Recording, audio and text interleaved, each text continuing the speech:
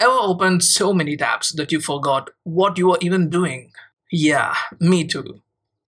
But what if I told you there's a built in feature in Chrome that can help you get rid of this chaos?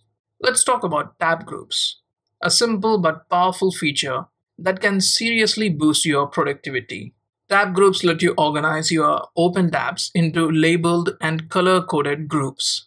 Think of them like folders for your tabs perfect for research, projects, or keeping work and personal stuff separate. Here's how to create one in seconds.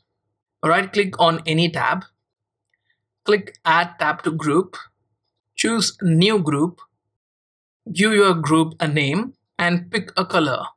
That's it. You have created your first tab group. You can drag any other tab into this group. Want to declutter? Just click on this group name to collapse all tabs into one.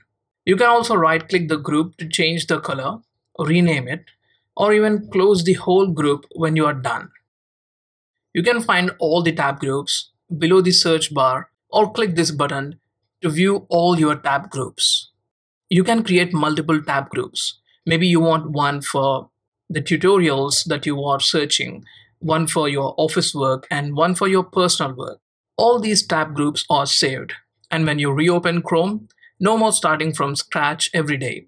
You can just click the tab group and all your tabs will be opened. You can also move your entire tab groups into new window.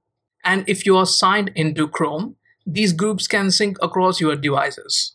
So your organized workflow follows you everywhere.